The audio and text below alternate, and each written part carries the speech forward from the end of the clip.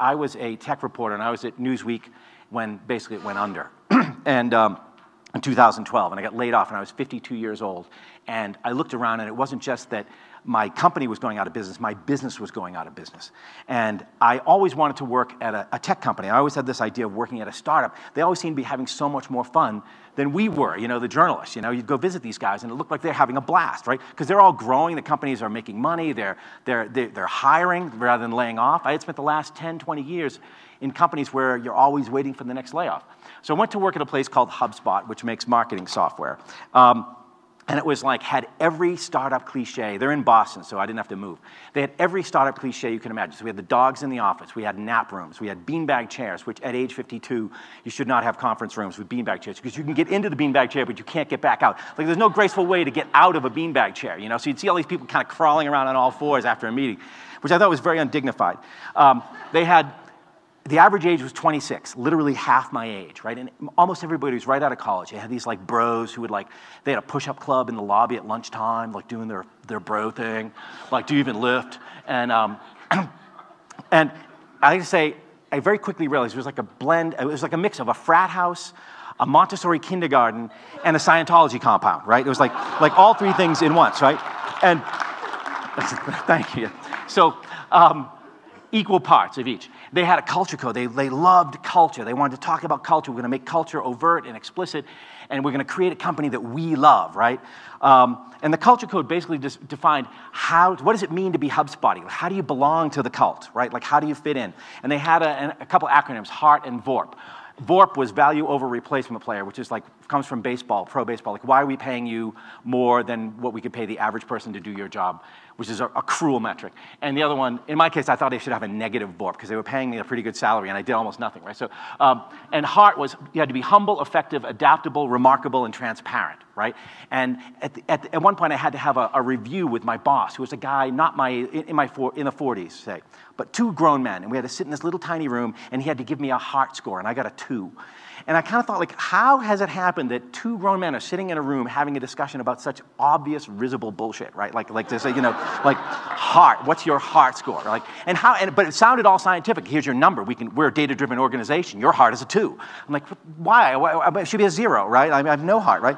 Um, they had training when you joined, and they would talk about your superpower. Like, what's your superpower? And they would talk about this literally, and I would burst out laughing. I was a journalist, right? Like, I mean, you know, journalists really don't like this stuff. So, what's your superpower? What is your superpower? And we had around, they had two weeks of training. We had to learn how to use the product, but it was really indoctrination, right? And they would tell these kids, do you know how lucky you are to be here? Thousands of people wanted the job that you got.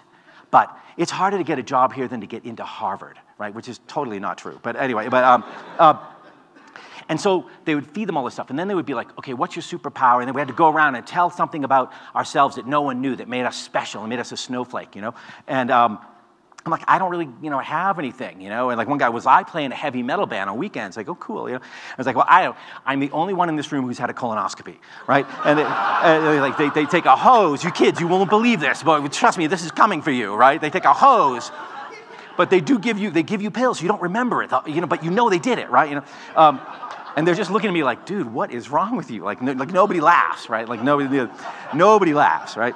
That was my superpower. I endured the colonoscopy, right? I'm the only one here who takes Lipitor. I have high cholesterol, so you know. Um, so, um, and then the main way to succeed was just to be enthusiastic. You didn't have to do anything. You just had to be a team player, like a total team player. You had to be GSD, get shit done.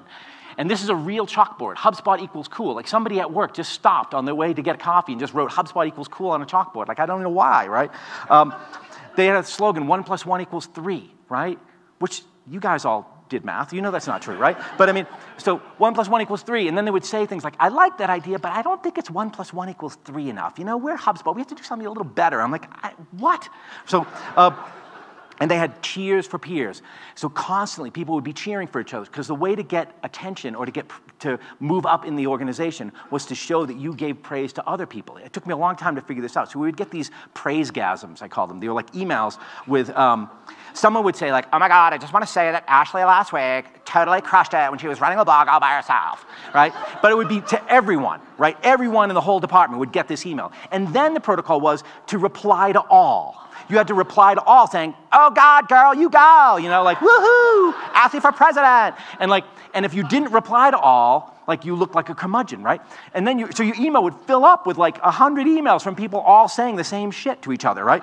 And for a while I would ignore it. Then I thought like I'm looking like a grumpy old guy, so I joined in and would be like, woohoo, and I put like 800 exclamation points, you know? And then someone figured out like, dude, you're being a dick, stop that, right? So like, uh, so I'm thinking like this place is nuts, right? This place is really crazy. And then one day, the founder there published an article on LinkedIn. He had a new management breakthrough, which is that he really wants to always be solving for the customer. And so he would bring a teddy bear to all of his management meetings, and they would have to talk to the teddy bear as if it were a customer. That was a way to remind you to always solve for the customer, right? So I'm like, okay, this is officially nuts, right? Like I spent, I spent all these years writing about Apple from the outside, envisioning it as this cult compound, and now I'm living in a real cult compound, right? This even crazier than I ever imagined Apple, even as a fiction writer, right? So I, I sat desk to desk with this guy who was like my boss, who was like 12. And I was like, and I was like, dude, hey, dude, that thing with the teddy bear, that's crazy, right? And he's like, well, no. And I'm like, look, I was like, look, no one else is around. You can tell me. Like, we know it's nuts, right? And he's like, no, I think it's, you know, it's kind of eccentric, but it's good. I was like, oh my God, right? So I, I, like, no one will laugh at the teddy bear. That was even worse to me than the teddy bear, was the fact that no one would laugh at it, right? So I called, I called a friend of mine who had left journalism and become a marketing guy, but had done it successfully, unlike me. And, uh, and I said to him, I told him about the teddy bear. I showed him the article. I was like, is this normal? Like, man, is this what it's like in the corporate world? I didn't know, you know? And he's like, no, dude, this is Jonestown. Like, get out now. like, run now. Like, you're, you're sort of one step from having to be, drink Kool-Aid. Like, literally, they're going to go around. You're going to do the mass suicide, the white robes, the whole thing, right? So, um, and this is what, meanwhile, everybody else looked at this is a real picture. And this is how they were every day. It was like, it was like being in La La Land. It was like, people, like living in a musical. Uh, this, everybody was really, really happy, right? and I was not, and, uh, which makes you miserable. It makes, it's crazy making because you're like, maybe something's wrong with me. Because they are all really, really happy. Maybe the world has changed, and now people bring teddy bears to work, and that's cool, and that's normal, right? Um, but as time went on, I realized, oh, I'm going the wrong way. Um, in fact, it wasn't, people weren't happy. When they did studies and they did surveys, they, they did relentless happiness surveys. They had very high turnover and very low morale. And that puzzled me too, but then I realized there were two cultures. There was a surface culture, which is all that crap. Then there was a real culture, right? And the real culture was that they had this huge sales boiler room, this telemarketing boiler room, where they put me in for a while to punish me for asking for a new job. It was like really, really loud. And I had to listen to this guy named Noisy Pete all day long, get on the phone and say the same script over and over. Hey, Bob, how's it going down in Orlando? How's the weather down there? Yeah, great. Hey, what's your marketing plan for this year? And they click, hang up. Start again, right? Smile and dial all day. So these kids would get paid very little money, stuck in a room, given a really hard number to hit that they couldn't hit. They would get burned out, and then they get churned out. And in the rest of the company, it was the same way, only it was even less rational because you could get fired for no reason at all. In this, they'd have a little group of people, and one would be made the boss, and she would just fire all the people she didn't like, right? Because they had these untrained managers, these undertrained managers. Nobody got any training at all. So it was just like Lord of the Flies, right? You just take a bunch of kids and put them in a room and let them be crazy with each other, right? Um, one of my favorite stories was, oh, when, and when they fired you, they called it graduation. This is great. This is the great thing. And we get these cheery emails saying, hey, everybody, just want you to know that Derek has graduated. We can't wait to see where he's going with his next big superpower rock star adventure. It's like, dude, you fired that guy, right? And you'd look over and be like, wait a minute, Derek's gone? Like, and then you look and his desk is empty. Everything's, there's like spinal tap drummers. Just poof, they go up in a pile of snow, right? Like people, and it would happen all the time. People would get fired all the time. It was like living in Argentina in the 1970s. Just boom, they just disappear, right? So um, and then I realize they don't even think this is a problem. They think this is great. The high turnover thing was actually like they would say, you know, they would explain it by saying, well, you know, we're, we're, we're rock stars and we can only play with other rock stars. So, you know, if you weren't a rock star, you got graduated, right? And this wasn't even unique to them. It came from Netflix. This is from the culture code, but this came from Netflix. We're a team, not a family, right? This idea that, you know, we, uh, we need to have a players in every position. But it's telemarketing, right? It's customer support. It's not, you know, anyway, it's more like, it's just a way to use a vendetta on people, right? The other thing I started looking around and realizing is they had this huge emphasis on culture fit, which I think has become this terrible euphemism, this really bad euphemism, which really means racism and, and lack of diversity. And it's a way of sort of turning a negative into a positive. So look around, there's no one over 30, like hardly, except for me and one other guy who wanted to become my friend. And we used to go for lunch together when they had to break up because people would see us paired up, like the two old guys, right? We had to have a man breakup. So, um, there were, and there were no people of color, like no black people. We went the first time we had a whole company meeting. I looked, it was 700 people in a room, and it's like all just white kids in their 20s, and like not even a very diverse group of white people. Like Klan rallies have a wider swath of the Caucasian population than we had. We had like one kind of white person. It looked like the kids you see on Cape Cod in the summer. Like Cape Cod just barfed up the whole population, launched them into Cambridge, and they all landed in one building, right? Um, so I started realizing there were really serious problems about this. Like the, the, the industry, in a way, had gone wrong in ways I wasn't, I, I didn't understand. Reid Hoffman at LinkedIn actually brags about this. So don't think of your job as a career. You're not coming here to work for a long time. You're not going to do what Linus Torvalds does and write an OS for 25 years. No, you're going to, you're going to work here for a year and a half, and then we're going to graduate you, and you're going to go do something else, right? Um, at Amazon, this so I left to write this book, and they hacked my computers and tried to find out what I was writing, and then the FBI got involved. There's a great, great other story that's in the end of the book. But uh, Amazon, you know, you walk out of a conference and grown people are sitting there crying at their desks, right? And I start thinking, like, I've stumbled into a much bigger story than I realized. And people start writing me. People read my book and start writing me, telling me these horror stories of things like what I experienced at HubSpot wasn't really all that unusual. In fact, it's becoming the norm, right? Um, Jeffrey Pfeffer, who's a, a, professor at Stanford, wrote an essay when my book came out, Why Modern Work Culture Makes People So Miserable, right? Um, saying it's, it's, a return to the work arrangements of 140 years ago, not some a new managerial innovation. It's worth, if you're in the gig economy, God forbid you lose your job and now you have to become an Uber driver because they won't even pay you as an employee, right? They may force you to be a contractor. And VCs won't invest in your company if it's a gig economy company if you want to make your employees actual employees, right? Which kind of kills me because Uber has apparently $10 billion in cash sitting in the bank that VCs have given it, but they won't pay their, their drivers as employees. They won't give them benefits, right? Um, when, the, when the driver sued, Uber spent $100 million to settle the suit to make it go away, which tells you how badly they don't want to make people employees, right? Amazon has people living in tents in Scotland because they can't afford to live near where they work, and Jeff Bezos charges them 10 bucks a day, 10 pounds a day to ride a bus. Jeff Bezos is worth $70 billion, but he makes his employees pay 10 pounds a day to ride a bus to work, so instead they sleep in tents, right? So what's happened is we've created this class of people called the precariat, right? Who either get in a job but then bounce every 18 months, or are, never can't get a job at all, right? And uh, antidepressant usage is up 400%, suicide rates highest in 30 years, right? So we're making work fun, like on the surface at HubSpot. It was fun, right? We're giving, giving people this, right? Um, but it's making people miserable, right? Which is this weird uh, kind of conundrum, right? Uh, or, and I think the reason is we're taking away all these basic things save for retirement, work life balance, a fair share of the equity, when HubSpot went public, they had a big party. A handful of people made hundreds of millions of dollars, and we all went to a party, and they gave each of us a little bottle of that Freixenet sparkling wine, you know, the fake champagne.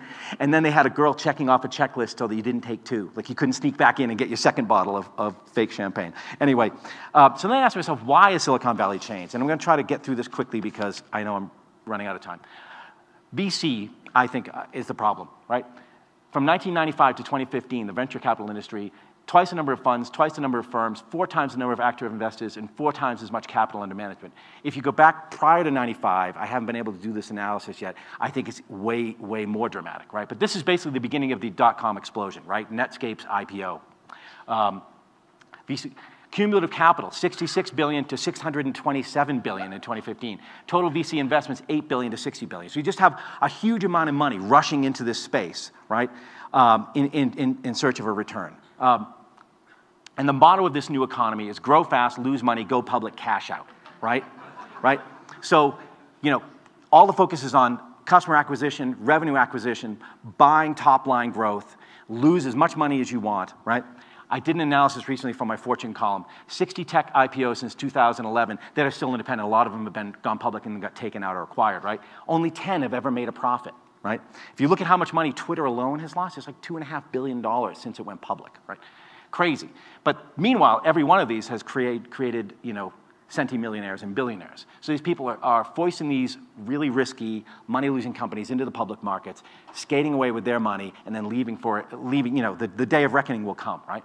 I think there's also something else that's happening. In the, in the old days, if you look back at the early days of HP, when H and P were running HP, they saw themselves as having four constituencies, customers, community, employees, and investors. And, and investors came last, right? They wanted to have happy customers. They wanted to pay their taxes and be part of the community. They wanted to take care of their employees and make sure their employees had a good life and could feed their kids and, and you know, put their kids through school and save for retirement.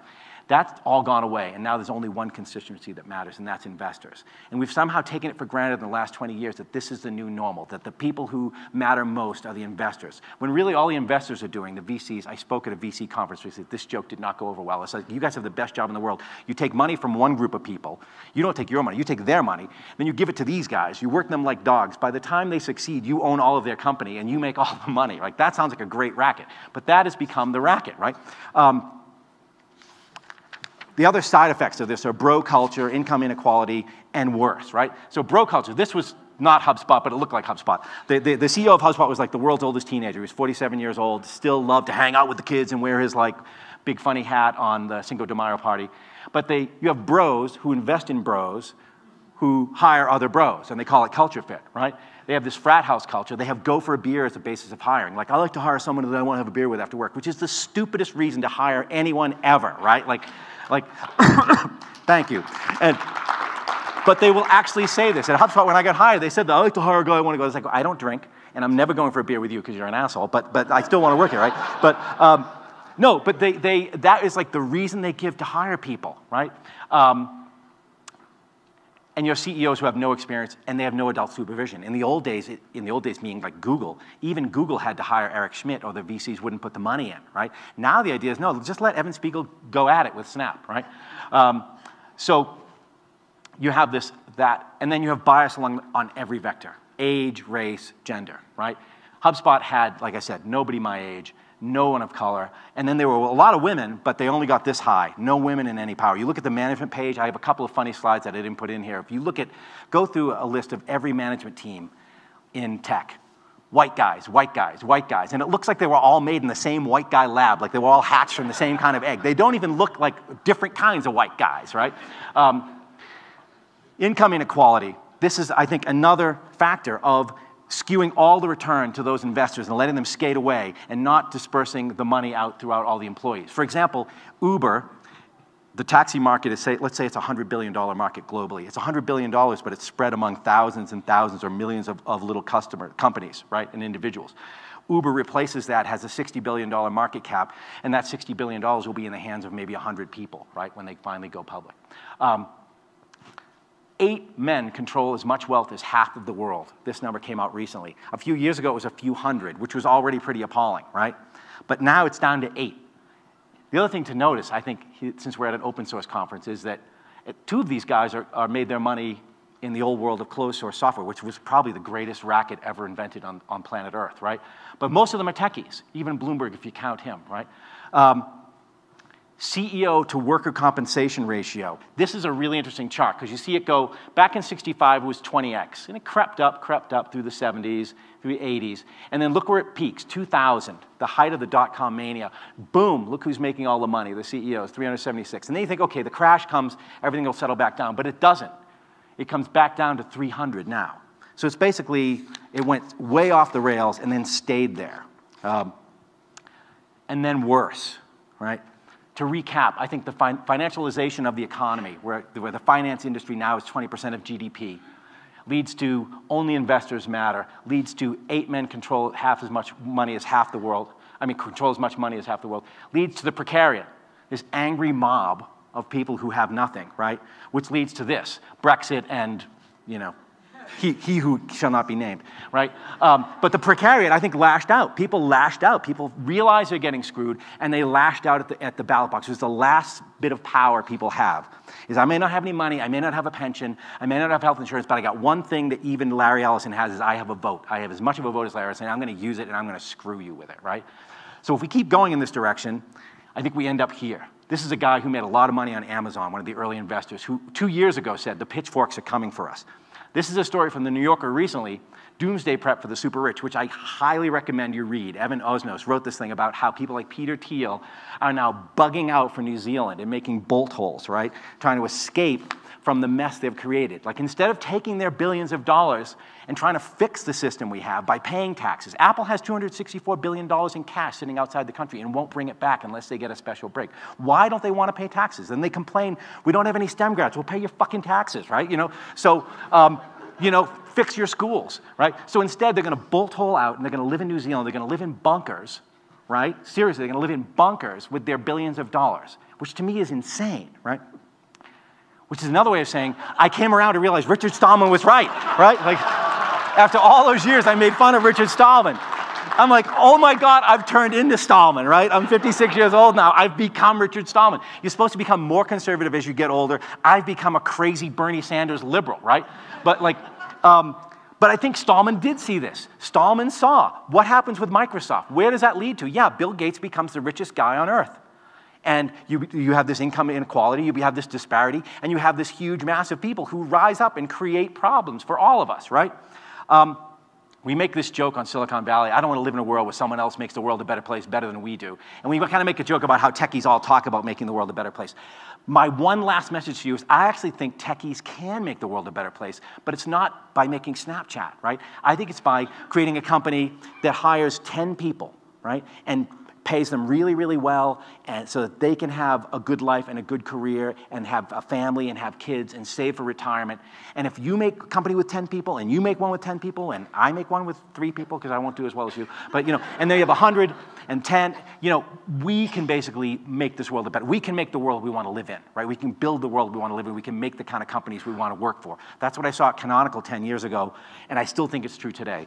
Um, I'm sorry for rushing so fast, but thank you. And again, I'm very, very sorry for all my old Richard Stallman jokes because it turns out he was right.